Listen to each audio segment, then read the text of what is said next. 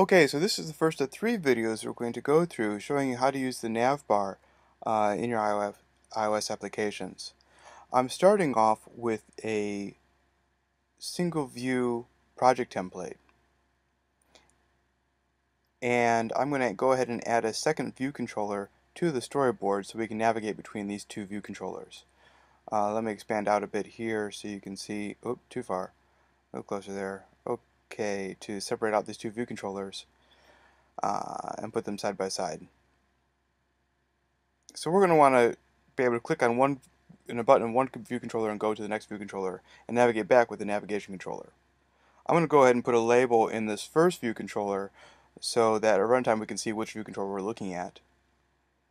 And I'll center this here and then just go ahead and make this called view 1.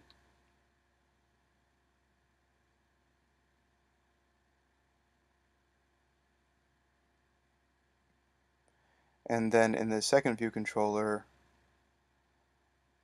I'm oh, let me first add a, add a button so we can go between the two view controllers here. So this will be go to 2 and that's a button we'll click to go to the second view controller. And in the second view controller I'm going to add a label and we'll call this view 2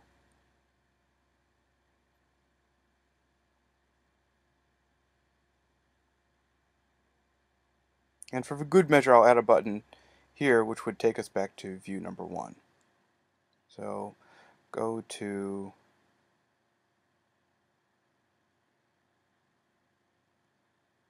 one. Okay.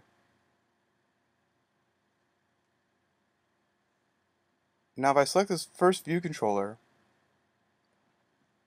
I can easily embed this in a navigation controller by going to editor embed in navigation controller. And you can see then what it does then is add this navigation controller to the scene uh, to the storyboard and then embeds my first view controller into that navigation controller with that relationship you see uh, which is the arrow between the two uh, scenes there. You also see in the view controller it's added this navigation bar at the top of the view controller to let me know that it, it expects it to be within a navigation controller.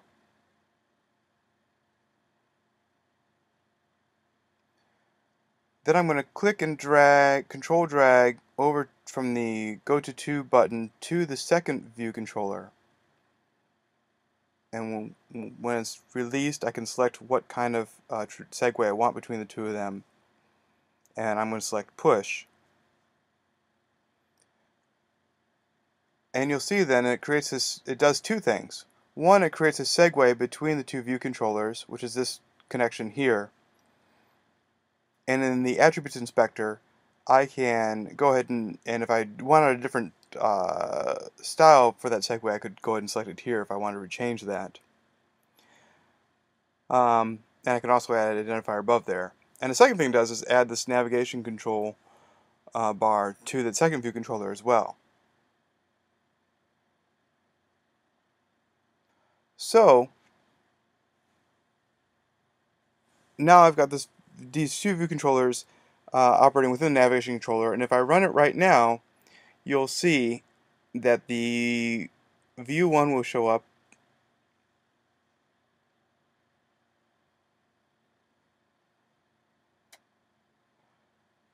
sorry the view 1 will show up uh, when the whenever the simulator starts running my app there you go. And I can click on the Go to 2 button and it'll push View 2 uh, into that view controller. And I also automatically get this nice back button that I can click and when I do it'll take me back to the first view controller and the back button automatically disappears.